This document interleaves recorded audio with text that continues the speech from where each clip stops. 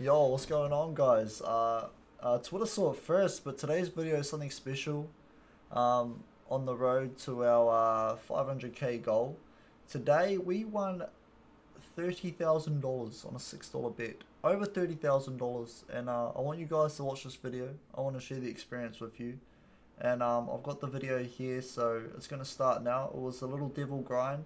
I done it on a six dollar bet and it is a fucking bang of a video. So uh, there's no webcam, there's no content. This was all off stream. This was just my own personal little uh, little grind off stream, see what I could pull off. And uh, well, it paid off big time. And a few of me and the boys are in Discord uh, hanging out.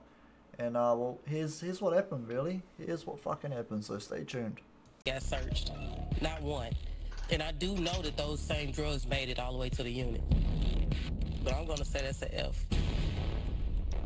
Um, I guess as far as uh, the topic of, of, of officers uh, in, in general, Heather, I'll start from your perspective.